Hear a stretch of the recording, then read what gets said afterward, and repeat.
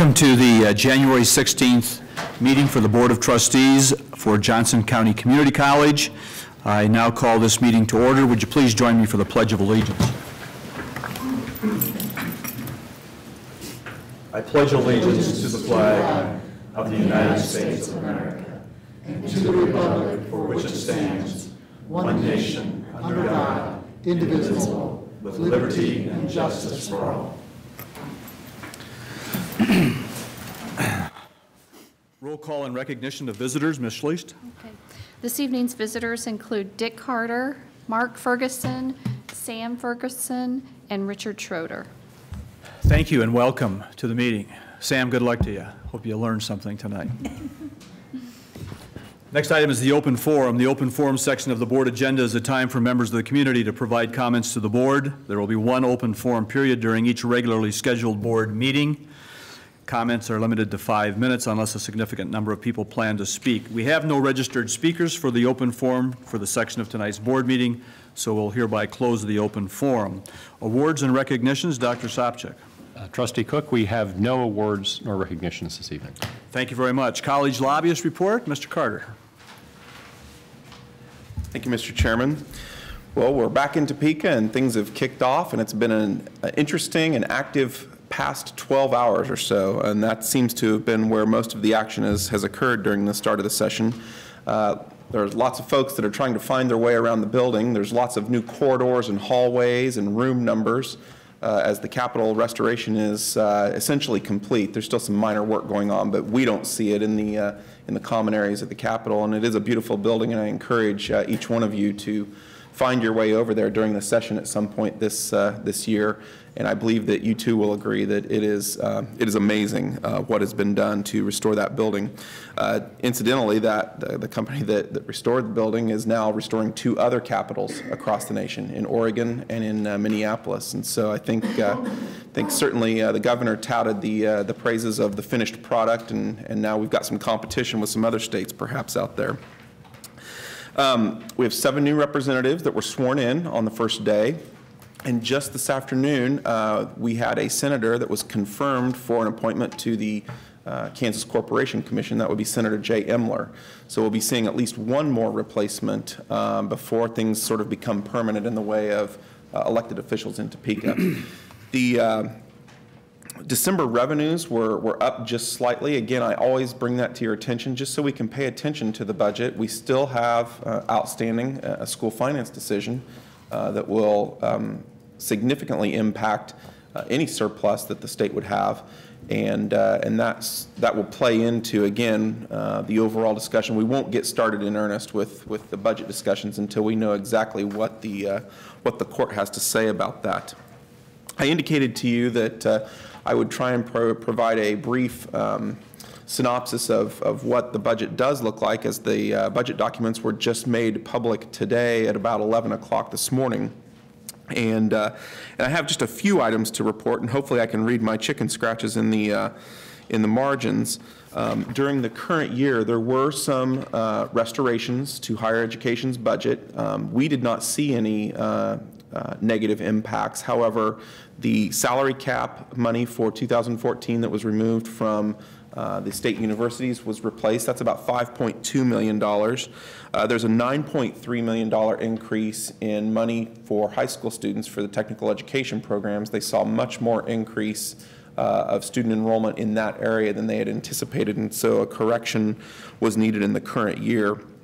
In 2015, there's going to be about a $15.3 million uh, increase in the uh, technical education uh, programming as it relates to some of those students that are targeted to enroll in those programs uh, while they're still in high school, and then about a $5.8 million increase again for the, the salary cap issue for the state universities. And again, it's important that we pay attention to that because while, while we're not placed with or faced with those salary caps, um, that, that entire conversation impacts things that go on in higher education in Kansas. Uh, not to mention, and maybe Dr. Sopcich will, will, will offer a comment uh, as it's not in my report, but, but Kansas continues to remain uh, in the national spotlight as it relates to academia and higher education with, with the social media policies that are, that are ongoing uh, or at least being discussed in an ongoing matter. Uh, and that was, that was uh, some information that was just obtained this, this uh, week at the uh, Board of Regents uh, meeting, just through casual conversation. There'll be some uh, interesting rule changes that are proposed. Uh, Representative Rubin uh, has proposed a- an unbundling rule. Uh, Frankly, this rule is uh, a great one in my uh, eyes because we get lost in trying to figure out how many bills and how many subjects and how many topics are crammed into a conference committee report.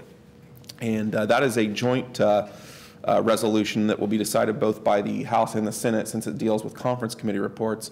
Um, That, no decision has been made, but that is a, uh, a great rule, and and I commend Representative Rubin for uh, recommending that, that change.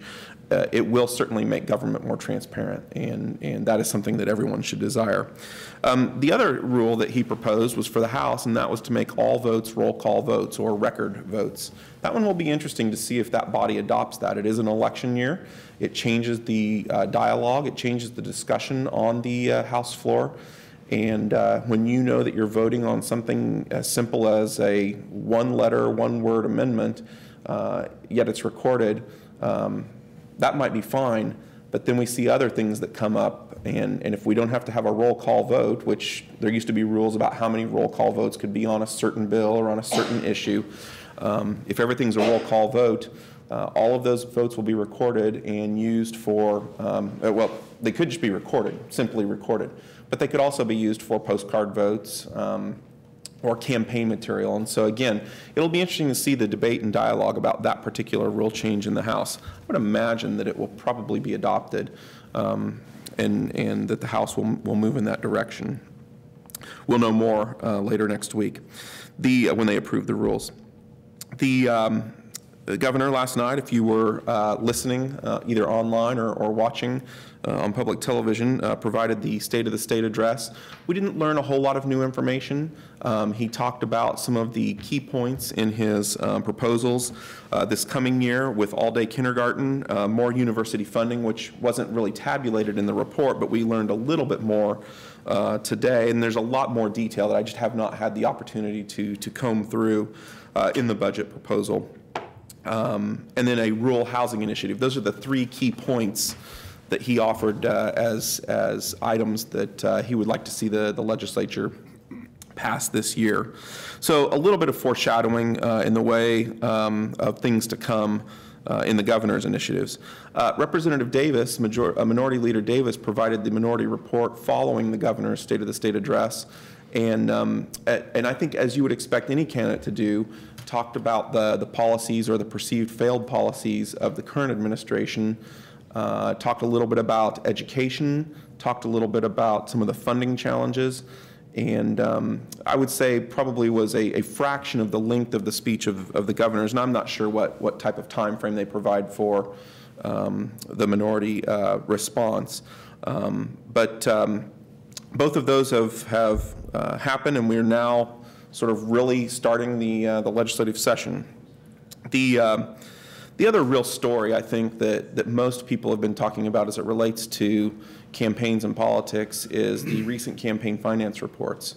And uh, I think you would have to, to really be um, trying not to pay attention to the news, to, to not have seen some of the reports that have been in the media with the uh, um, Davis Docking campaign raising about a million dollars uh, in 145 days uh, compared to about 1.6 million that was raised um, by the uh, current administration. Um, still a little over $2 million in the campaign account for the governor, but it's going to be, it gave people pause to take a look at, at what was really going on. And, and I don't think anybody expected to see those kind of dollars raised um, uh, by the Davis campaign, at least in this first reporting period. So that'll, that'll continue to be a part of the discussion as we move through the legislative session.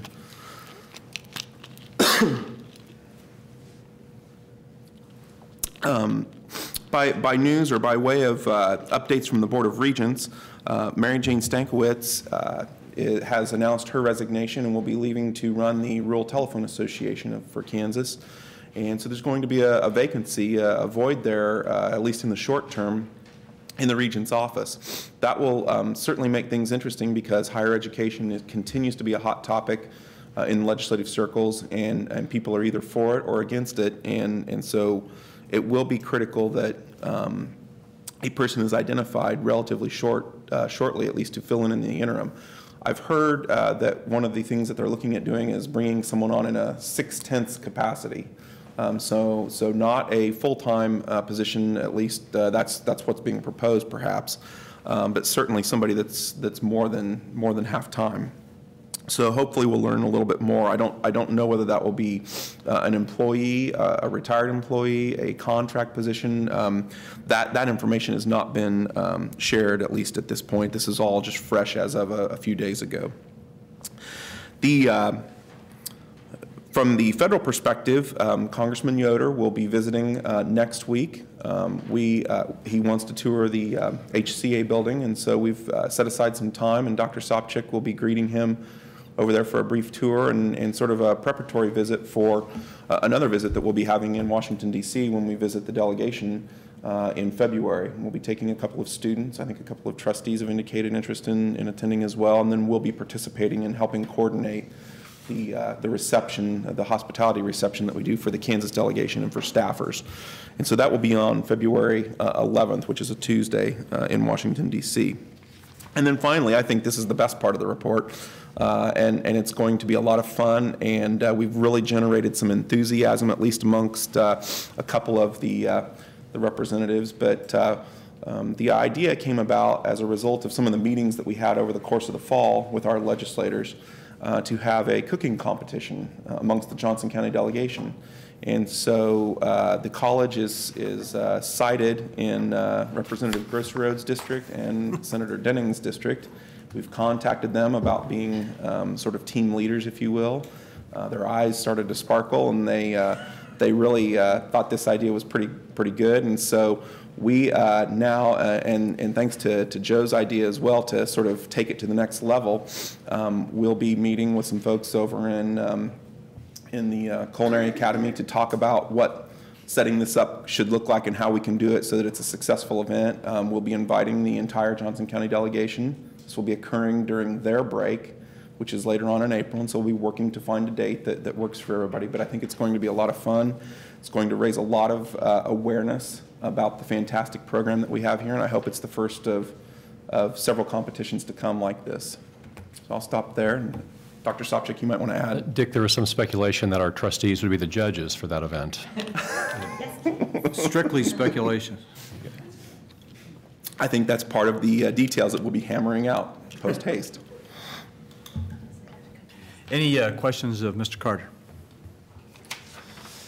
Thanks, Dick, appreciate it. I know that um, it's, it's an interesting time getting started, and some of us don't have the patience of all the steps it takes to get started and get underway, and then at the end, we seem to be rushing to finish everything. So appreciate the update and the input, and uh, have a good game. Thank you. That takes us to the uh, committee reports and recommendations. First one is a management report by trustee Lindstrom. I might note that uh, your, your, uh, we we appreciate your unusual attire, uh, trustee Lindstrom, uh, to explain to the um, viewing audience and the live audience, if you will. uh, Trustee Lindstrom had some surgery, cranial reconstruction, I guess, and uh, the doctor said he couldn't expose it for a week, so he, uh, he did seek and get permission to wear a hat Expose my tonight. head. Yeah, yeah, okay. Trustee Lindstrom, management report.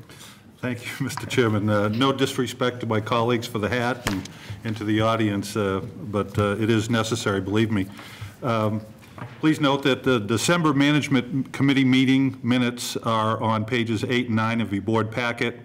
As for uh, January meeting, as for the January meeting of the Management Committee, we met at 1:30 on Wednesday, January 8th, here in this room. Trustees Stewart and Musil both had prior commitments and were unable to attend. It was a short agenda with no recommendations to bring to the Board of Trustees. Um, Since the meeting was last week, the complete meeting, uh, minutes of the meeting will appear in February board packet uh, uh, uh, for the trustees.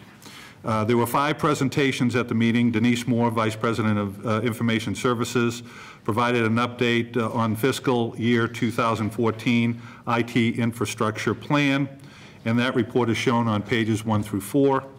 Uh, Rex Hayes, Associate Vice President of Campus Services, updated the committee on projects included on the capital acquisitions and improvement report as shown on page five. Uh, Tom Clayton, Director of Insurance and Risk Management, reviewed the fiscal year 2014 annual report on the college's insurance coverage.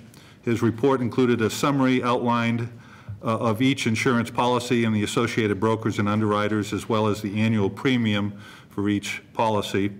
Uh, Don Perkins, Vice President of Vice- uh, of Financial Services, reviewed the semi-annual budget reallocations report for the period July 1st, 2013 through December th- 31st, 2013. This report is required by Board Policy 211-01 to be submitted to the Board of, on a semi-annual basis. And finally, Mitch Borchers, Associated Vice President of Business Services, reviewed the monthly report on sole sources. I would uh, welcome any comments from others that were in attendance. Uh, Mr. Chairman, that concludes my report. Thank you. Thank you. Any questions of trustee Lindstrom? Learning quality, trustee Lindstrom. Mr. Chairman, there was no Learning Quality meeting, uh, committee meeting in January, and therefore is no report. Thank you very much. Uh, Human Resources, Dr. Drummond.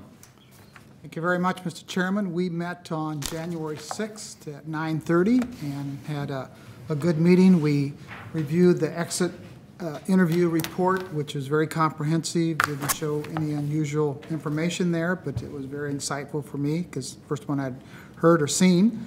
Uh, Then we moved on to the benefit RFP status, and we were given an update on the RFP for medical, dental, and vision and flex spending account benefits.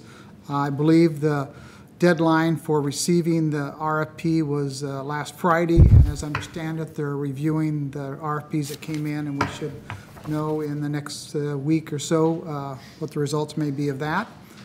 Uh, The biggest item was uh, the benefit task force recommendations, uh, uh, all of which you have heard before, but for the sake of review, I will go through this because it's very, very important. The the benefit task force for the audience was established for the purpose of of creating a solution for our long-term healthcare sustainability per direction from the current faculty master agreement. The task force consisted of five faculty members, five administrative management employees, and five staff members who met on many occasions to discuss options and to make a recommendation to the Faculty Association and the Board of Trustees. Uh, After considering the various alternatives, the task force uh, made the following four recommendations that I'll read to you.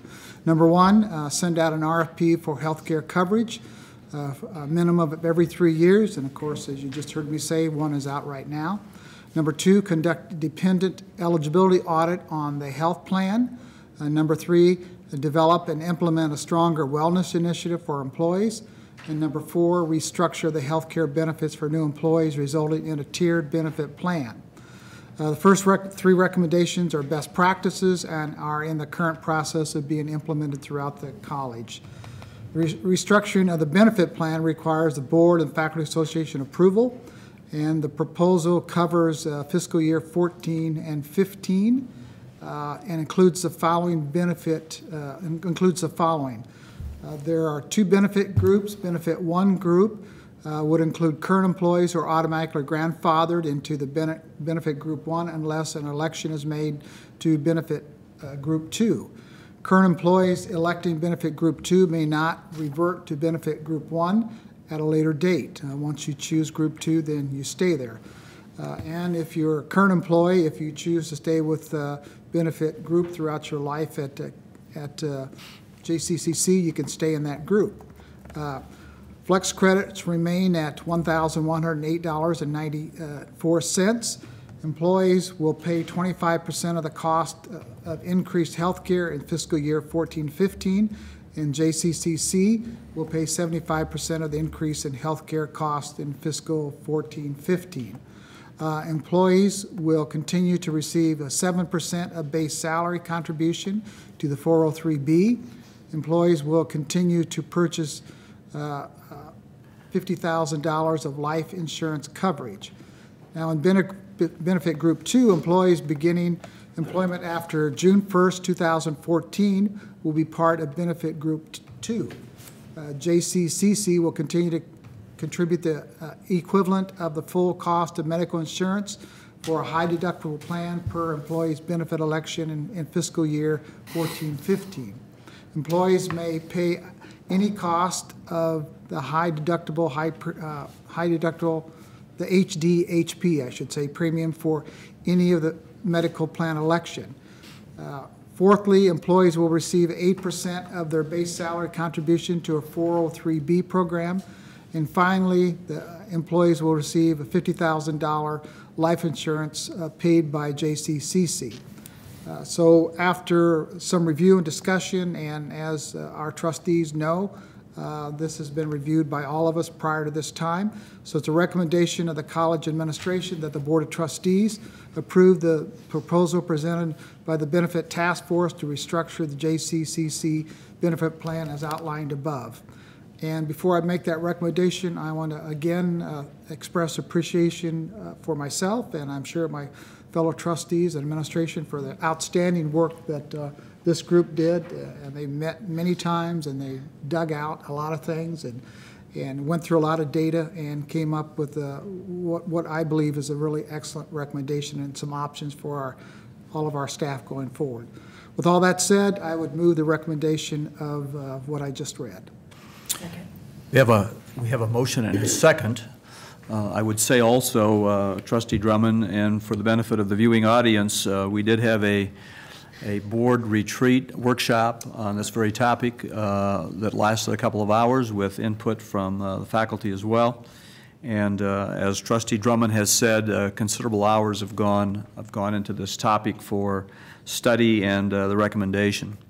Are there any questions or comments of um, trustee Drummond? Trustee Stewart? Uh, Yeah, first question would be, where are we at in the, the faculty association approving?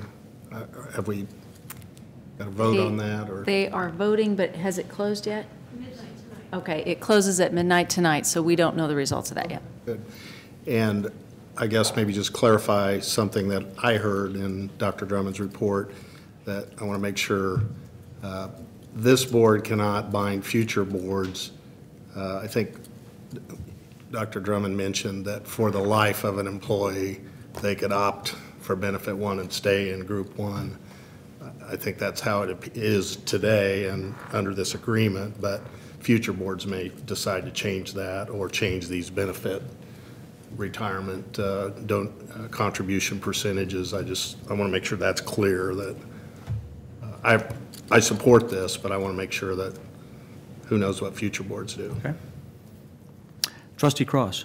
Yes, Mr. Chair, I just have a quick question pertaining to the purchase of life insurance coverage. Trustee Musil mentioned at the retreat, uh, noticed the difference between the purchasing of the $50,000 life insurance coverage under Tier 1 versus the reception of the same or similar $50,000 life insurance policy paid under uh, Tier 2 or Group Benefits 2.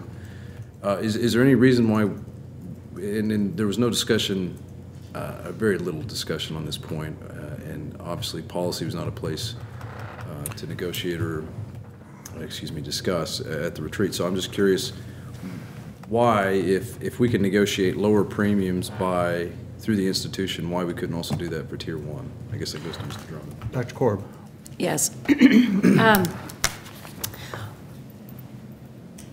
Tier 1, um, when we originally set up Tier 1 and set up the flex credits, they, they were set up to cover life insurance, health insurance, and dental, medical, dental, and, and life. So in all of the discussions that we have had around Tier 1, um, we've always included the purchase of that life insurance within those flex credits that we're offering. Tier two, we are not, we're separating ourselves from the flex credits, and so we're just paying directly for the premiums. And so we have indicated that we will pay the premium for the um, life insurance in Tier two. One of the things I think was a little bit confusing at the retreat when we talked about it, we talked about, um, or it was mentioned, that life insurance for Tier one cost more. We said that than for Tier two would be for Tier two employees. And that's, that's not really, uh, we pay the same amount for life insurance, the college does, to the life insurance company for all employees. So if it's $5.30 a month, it's $5.30 a month for every employee. The, where the confusion came in, though, in Tier 1, when those flex credit dollars were originally set up, there was about $13 set aside in those flex credits for life insurance. And so that amount was never reduced. The life insurance amount was never reduced, even when the premium went down. The flex credit dollars that were going to the employee stayed the same. The employee was just able then to use that to cover more of their medical premium. So I don't know if that, that helps understand the difference there, but we are paying the exact same amount for life insurance for all employees that we're purchasing it for. Tier 1 employees are just getting that amount contributed through their flex credits. Tier 2 employees, the college will just pay that premium directly. Well, thank That you for that helps. clarification. I just was curious, and my understanding was different, so it was a month ago. Did that answer your question?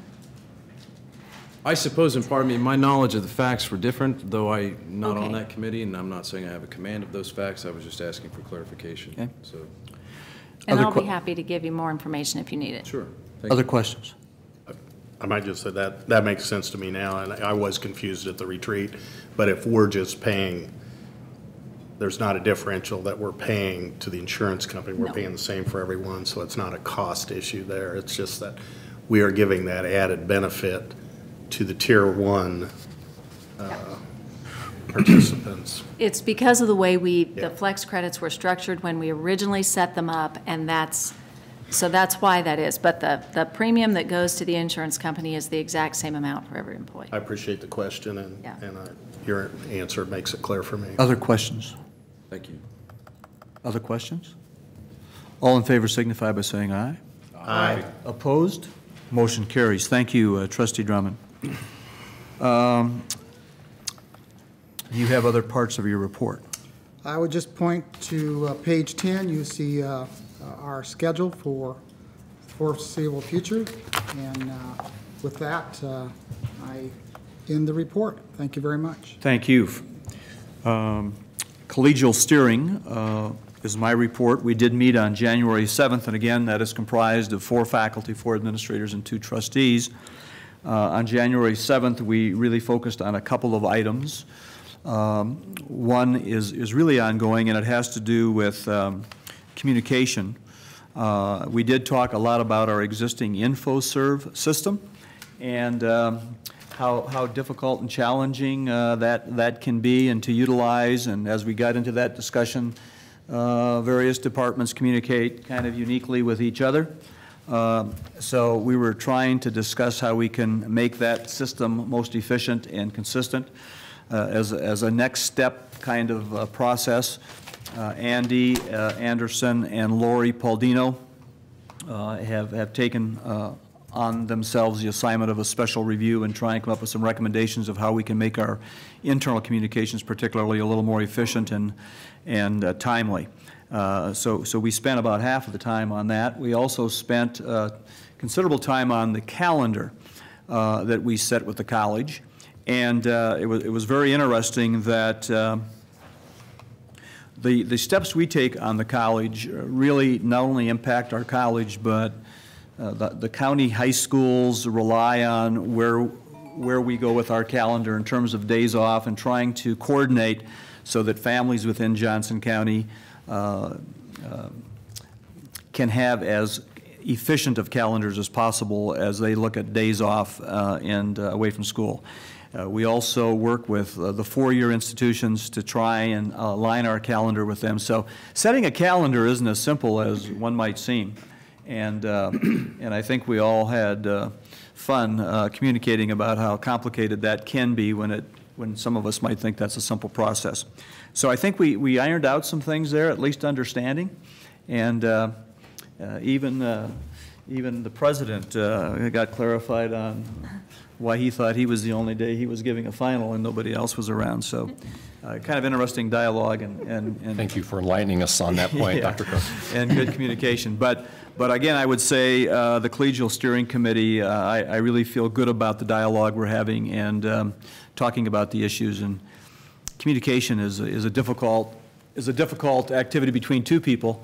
And um, so trying to uh, make sure we understand each other and what we're saying and doing. I think the collegial steering is making good headway there. Uh, I'm sure uh, Dr. Williams might make a comment on that during her report.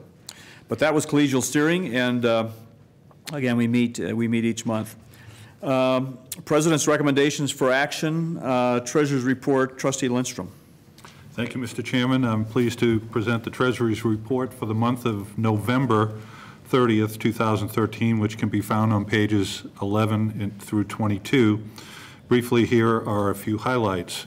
On page 21 at the bottom of the page, please note the cash fund balances.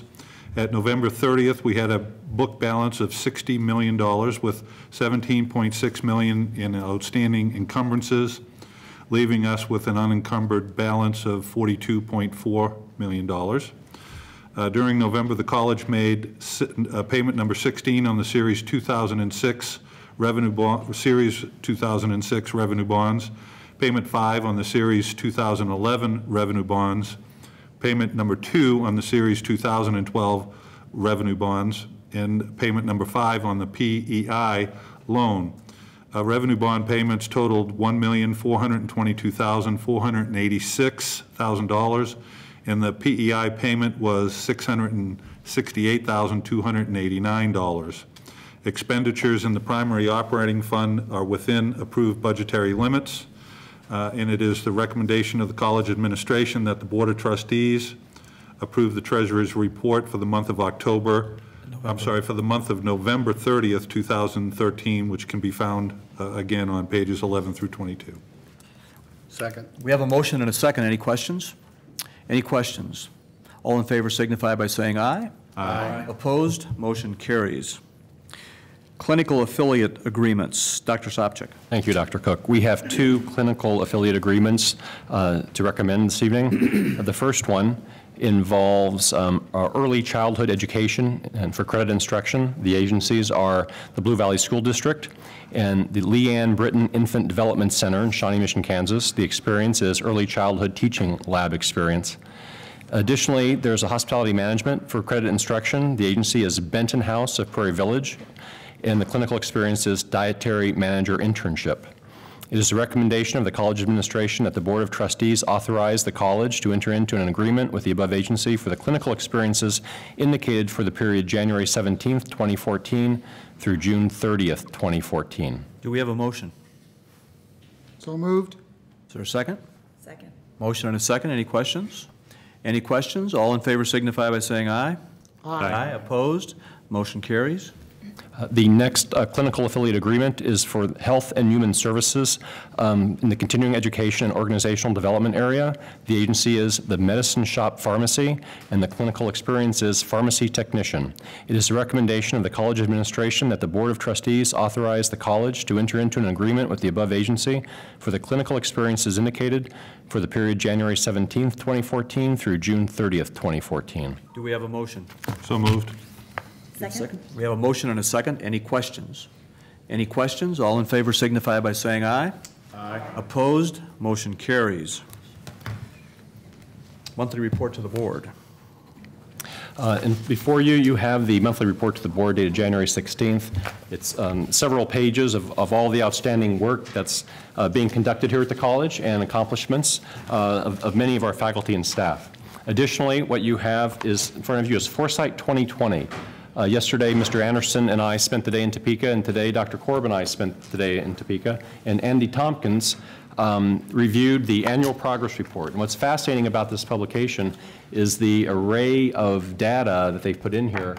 And this demonstrates how the KBOR is evaluating their, their um, I guess, efforts with the six universities as well as the community colleges. In the appendix, back on page 17, they, they break out um, all the institutions, and you can kind of compare one versus the other. So it's really a very interesting piece. I think this might be one of the first years where they've, where they- they've gotten this far. And, and the numbers, to give you just a brief top line, um, everyone's very, it- it's very positive, and things are certainly going in the right direction. So I wanted to share that with you um, this evening.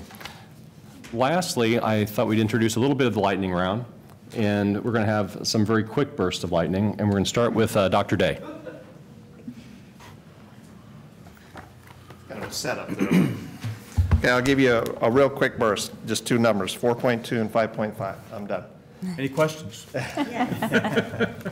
So to set that up, if we had had this meeting one week ago, that, those numbers would have been 10.5 and 11.5.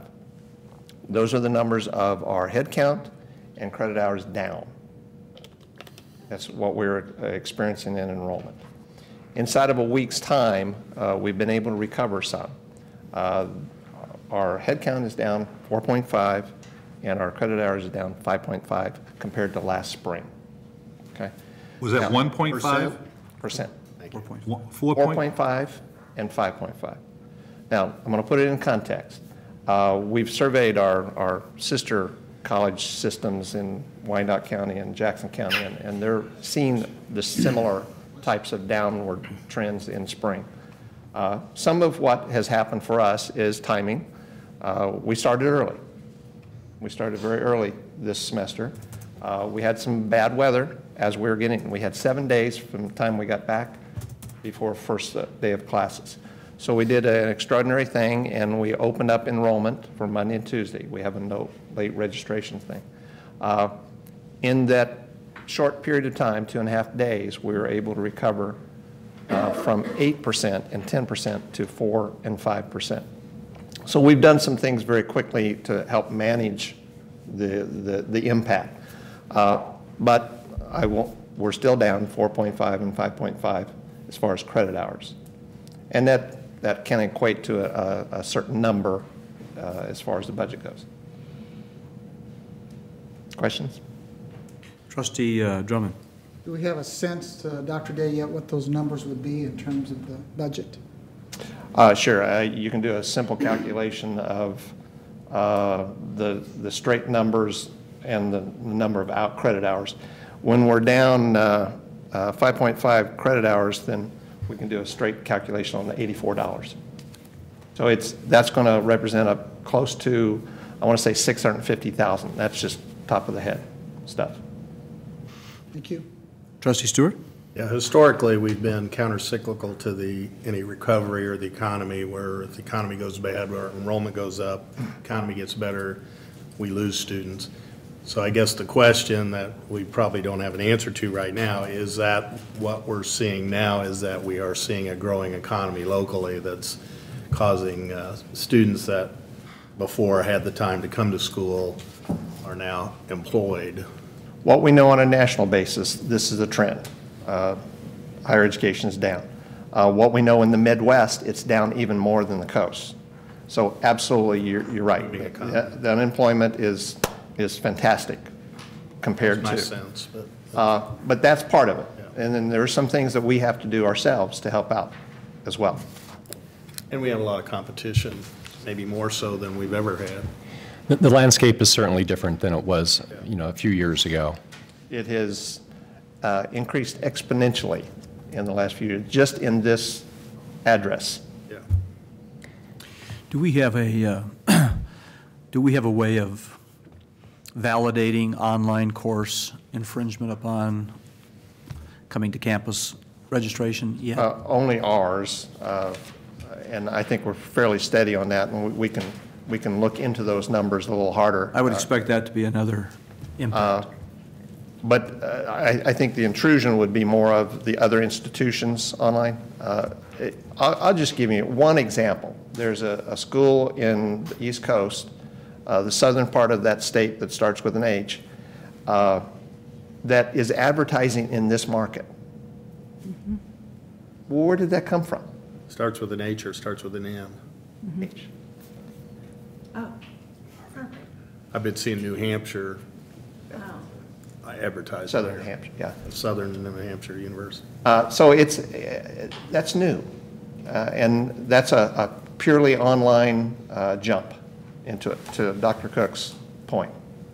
So yeah, there's, there's plenty of competition. But again, there are some things that we can do ourselves as well. Other questions? Just a comment perhaps. I, I think the trend that we're facing, which is a national trend, it's a Midwest trend, and it- it's probably a Kansas City metro trend, suggests to us that, you know, we can just accept it, or we can probably proactively take a look at it and see if there are things we can do to enhance our ability to recruit more students, market more students, whatever the case may be. So with the trend, I- and from the projections I've seen, the trend is going to continue somewhat. It started and it continued. And I'm just wondering whether we should uh, take a closer look at as a board in terms of what we might be able to do to address this and try to abate it before it goes too deep and frankly costs us a lot of money. Very nice segue, by the way. Right. Um, For one thing, at the next management committee, Dennis and his team will be pro- providing some greater insights into the situation. Um, Last week, when we got that report, which was, uh, it was, it was pretty eye- eye-opening, um, it really kind of uh, caused us to act. I mean, one of the things that we all know is that we had a huge jump in enrollment, was that 08 or 09? almost 10%. In a way, we've been correcting ourselves, and you have this national trend. Um, But the fact is, this will be the sixth semester, consecutive semester of enrollment decline. And so we immediately called some folks together, and um, we've uh, kind of put together a a group to start really checking into some things that we need to do, as Bob mentioned, to be more proactive. And Judy's going to take us uh, through that. Um, Yeah, certainly enrollment has been a topic of conversation in groups all across campus, and different groups have started doing things or, or looking into what, what could we do about it. And so we are going to organize a collective effort to come up with a plan so that we're looking at it and making sure that everything that we're doing aligns. But obviously, this affects, affects instruction, um, what we're offering, when we're offering it, how we're offering it, all of those kinds of things, as well as enrollment and engagement, the, the student aspect, the student experience, and, you know, just getting them here. So we know that there are trends, there are certain things that are external factors that, that we probably can't impact. But we also know that there probably are things that we can do. And so we're going to take a look at those and kind of divide up into some subgroups and, and check into those things and then try to come back together with a collective plan. And we're looking at trying to put some initial plan together in the next four to six weeks that could potentially even impact changes for fall. So, Thank you. Trustee Lindstrom. The 4.5 is the head count? What does that correlate to numbers? Uh, Number of students? That would be about 16,000 students right now. We're still. in- Total? Yeah. Okay. For now. Uh, That's comparative to this time last year. Okay. This spring. Now, that's not the final number for the semester. Okay. Trustee Sharp? Trustee Cross? Yeah, I just want to really echo uh, trustee Drummond's comments and would actually ask to have participation. And I don't really see this at odds with the regents or anybody uh, with respect to our partners in state here because uh, in my own clientele, friends and families, uh, I I don't think this problem could be overstated. I mean, I think we are market participants that are getting outflanked by competitive uh, competitors. So I, I- I think, uh, I have a brother who got a- his degree online through Fort Hays. I know K-State has historically had wonderful programs online, uh, I- and I could be corrected as to who else offers programs in-state. But I, I don't see this at odds with the Regents or any of our, our strategic partners here in state. I, I just do think that we need to do a better job of it. It's no statement to you or the administration, it's just frankly one of my uh, things I wanted to comment on, so. Okay.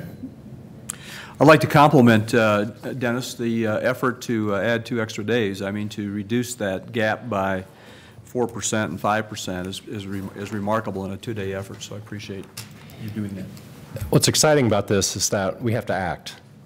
And so we have to have these things impact or try to impact the fall semester. So we don't have that much time to talk, but we have to get it together and implement. So that's really exciting. In fact, um, it's exciting just watching some of the things that are happening around here. Um, I talked to Lenora Cook. She's the Dean of Healthcare Professionals and Wellness, and she shared with me this experience. She had attended uh, three healthcare explora- exploration classes at Shawnee Mission South, approximately 75 students. When you go to these things, you pass out information, and they give cards, they sign up. You know, she collected the cards, brought them back, and before she turned them over to admissions, she distributed them to her directors and said, call these students who have an interest. That's the type of engagement, that's the type of outreach that we need to do. And she did that on her own. And when you see people stepping forward, that's what is pretty exciting to watch. Uh, we had a foundation executive board meeting the other night. Deb Williams was talking about some of the things that she's been doing as far as reaching out, trying to collect information. Dr. Antle talked about um, perhaps looking at an online class for Kansas history. And so when you go throughout the college, you see people rallying trying to do things that could positively impact enrollment. And that's terrific. And so that's why I think at this point in time, the enrollment is a great challenge, but it's also a great opportunity for this college to demonstrate how it can respond and get ahead of the game. So we're looking forward to, we're looking forward to next semester. And that concludes our report. Trustee Drummond, thank you for uh, challenging us. That's uh, timely, and, and uh, we'll follow up with that. Thanks, Dr. Korb, for initiating some actions, and Dr. Sopcich for your report. De- uh, Thank you, Dennis, for the information. I don't believe we have any old business tonight, and I don't believe we have any new business. Uh, Report from board liaisons. The first is the Kansas Association of Community College Trustees. Uh, We have not met since the last meeting. Um, I would just reinforce uh, Mr. Carter's report that um, KACCT will be attending uh, the event in Washington in February. And uh, Dick, I'd like to thank you for taking the lead on hosting the reception for the members of KACCT on the 11th. Uh, We do have a, um, an event in Topeka, I believe it's on the 8th, uh, for the Phi Theta Kappa Luncheon. Um, If, if any of you have not attended that or would like to attend, I think if you talk to Dr. Sopcich, uh, the the uh, KACCT will have a meeting that day. Uh, It's not the 8th, though, it's the uh, following Wednesday, it's the 13th. And um, that's in Topeka. That concludes my report for uh, KACCT. Um, Mr. Musil obviously is not here. I don't know if we have a report on the Johnson County Research Triangle. Anybody have a comment, report on that? Uh, Foundation report, trustee Cross. Thank you, Mr. Chair. The uh, Foundation Executive Committee met Tuesday, January 14th, 2014, in Galileo Pavilion, and uh, a fine presentation was made by uh, Professor Jay Antle, who's the Executive Director of the Center for Sustainability and a Professor of History, as you all know, but I threw in for the online audience, or the television audience. Um, He gave a presentation and an overview of the college's uh, sustainability efforts and frankly, the resulting financial savings and benefit to the college. It was an excellent presentation. I just want to comment on that again. Uh, Mr. Steve Wilkinson reported that the Board Development Committee is evaluating candidates for the 2014 and 2015 board slate. That'll be the recommendation for members and directors uh, to be presented at the directors' meeting in March. Nominations for the 2014 Johnson County of the Year have been collected, and the selection committee meets soon on that issue. And Then finally, the foundation will be holding their annual employee block party in March, and this event is to recognize all faculty and staff who uh, have made a contribution uh, during the calendar year.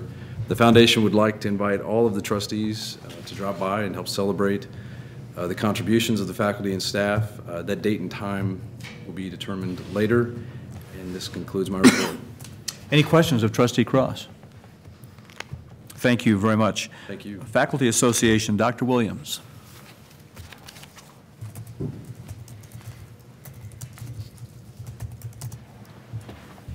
Well, hello, everyone, and um, as usual, I I came to the meeting thinking, well, I'll have a brief report, and after sitting here listening um, to lots of comments, I now have a longer report. Um, Well, I guess I'll start by saying, you know, we're only 16 days in, so I'm going to say Happy New Year. Uh, We have certainly, um, spring 2014 is off to a good start. We um, are very happy about a lot of the exciting activities that have already occurred in the past four days and all that we have planned um, for the rest of the semester. Um, We hit the ground running as a faculty association at the all-faculty meeting um, with um, our, we discussed two items of of importance. One was mentioned earlier tonight that require uh, full bargaining unit votes, and and one is the benefit uh, restructuring or recommendations from the um, the Joint uh, Task Force on Benefits. And um, The the vote is still ongoing until midnight tonight, uh, but it's trending toward approval. And so um, I think that's as much as I can say at this time. But um, it generated significant discussion on the listserv and at the all-faculty meeting. Um, But again, I think to echo what's already been said, there was a substantial amount of work um, that brought that recommendation uh, to us. And um, as I commented at the all-faculty meeting, you know, anyone who's ever negotiated a contract understands complexities of a lot of issues, but this was a very complex one. And to appreciate the work that went into bringing us to where we are, um, I can't say enough about the work that that 15-member group um, did to bring us to the place where we are actually, we can actually take a vote. Um, With regard to collegial steering, um, I didn't have a lot that I was planning to say, but I I guess I would echo, um, you know, trustee Cook's um, comments about communication, how that's been an ongoing um, issue of interest, concern, and celebration, really, because from my view, communication has improved substantially. And the fact that we have dedicated, you know, meetings with time allocated for improving communication speaks volumes to the, um, you know, the recognition how important that is to get uh, through some of the challenges that we, we have before us and the work that, that needs to be done. So um, I'm, again, happy that we have collegial steering back in the, in the form that it's in and uh, look forward to future discussions as well. By the way, trustee Lindstrom, I really like the hat. I want one. I was, I, I commented to Vin that if I, I had one, I would wear one in solidarity, so. Thank you. Um, So with regard to the benefit vote, again, that's in progress. And then the other item, as I referred to, that is ongoing, and I'm looking forward to its completion, is our discussion surrounding the discipline area uh, clarification in Section 8 of the master agreement. Uh, Two more groups have come in as far as reporting where um, they want us to, what they want us to do with their particular groups. Uh, One of them was one of the more um, challenging or substantial contrib, I mean, their conversations uh, took a lot of, of time and deliberation, and so I was happy to see that they, as a group, worked out um, something that we can work with as we move forward with that effort. I plan on sending a, a note out to the faculty with a, we have a hard deadline of March 4th, and I'm going to send out a soft deadline of February 15th, and I think we can meet it and have a little bit of turnaround time to have any lingering clarification that we need. And then Tanya and uh, the administrative group and I will have probably more discussions about um, where to take that to get that task completed so we can get that off the, the plate. Um, with regard to the focus on enrollment, I was happy that that came up tonight because it came up in our, uh, we had an executive council meeting for faculty senate. And um, I actually suggested that we consider putting that item on the Senate agenda. It will certainly be an item on the Faculty Association uh, meeting agenda to discuss ways that faculty can contribute to understanding and potentially addressing those enrollment uh, declines. I think, as I saw tonight, there's a lot of, there are a lot of ideas and some that's actually known in terms of national trends and data that supports that. But there's also a lot of speculation as to why we are um, facing a 4.5 percent decline, and I'm happy to hear that we brought it down to that based on where we were about a week ago. But there, there are probably some answers there that we don't have, and we need to ask the right questions, and, and certainly as a faculty group need to recognize that it impacts us, whether, as I said at the foundation meeting, uh, business is booming in our area or uh, we're struggling um, in certain respects. So we want to, as a faculty group, do our part to ask those questions, be a part of asking those questions, literally, um, and crafting possible uh, responses.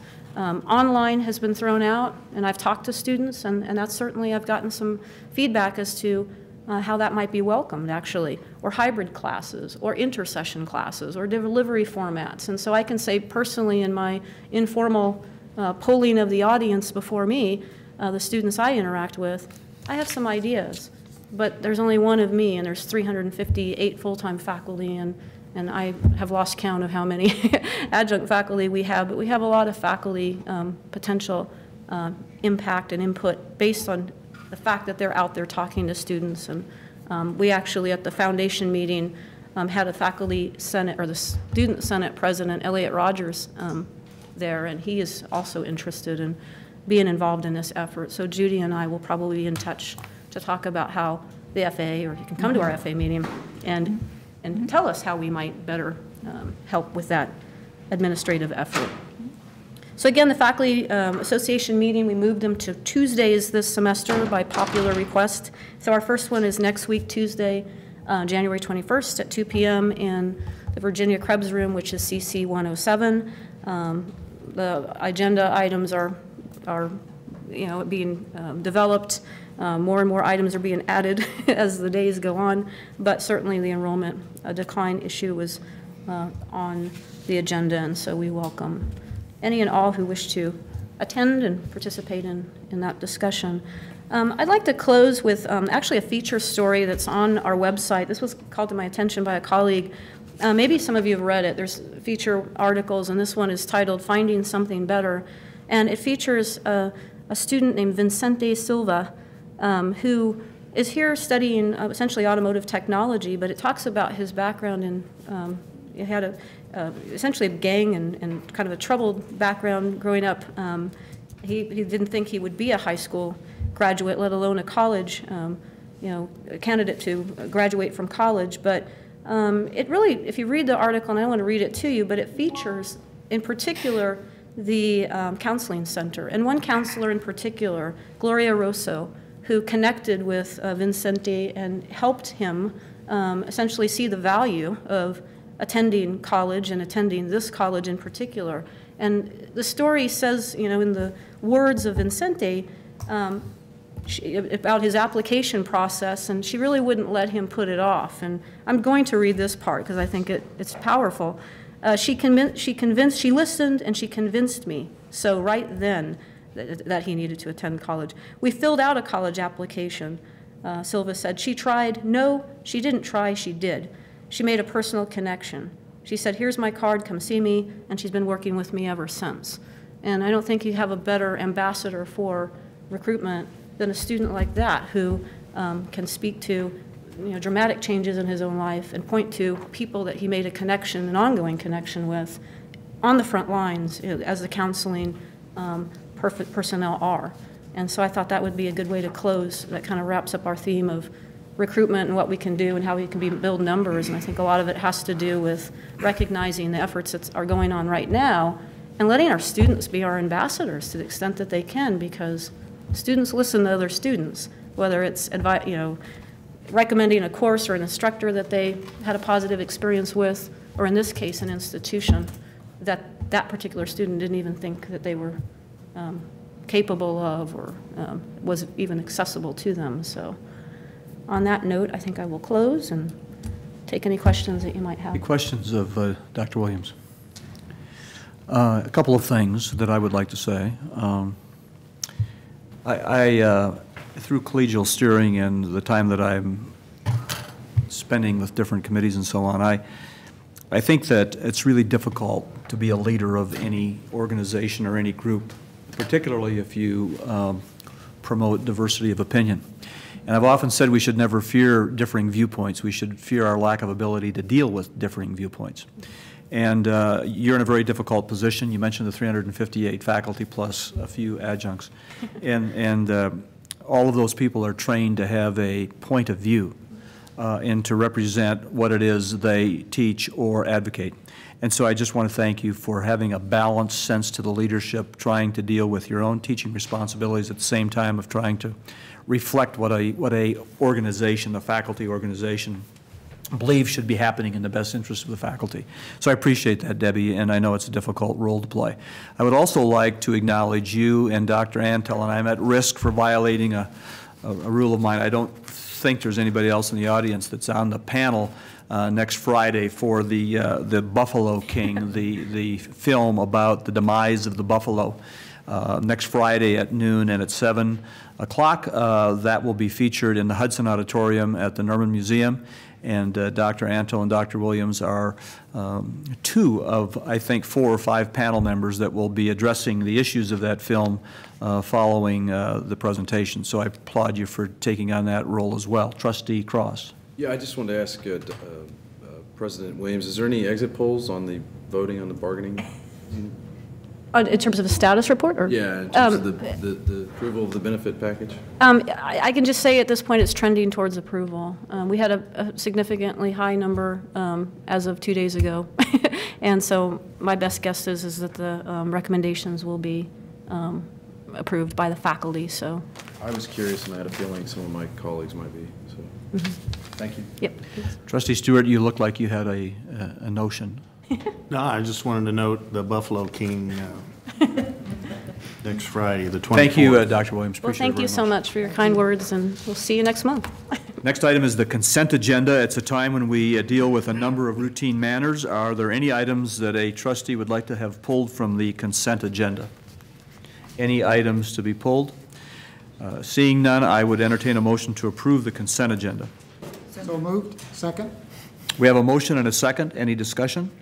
Any discussion? All in favor signify by saying aye. Aye. Opposed? Motion carries. We have no executive session tonight. Trustee Cook? Yes, sir. I just want to comment uh, that I would like to commend trustee Lindstrom for showing up injured. He had the bulk of the committee reports that he made. He filled in for me, for the management committee, learning quality, and the treasury report. And uh, I just want to make sure that he knew we recognized that effort. Flattery will get you everywhere. Profuse bleeding on the backside of your head. So I Appreciate it. Do we have a motion to adjourn? So moved. Second? Second. All in favor signify by saying aye. Aye. Meeting is adjourned. Thank you.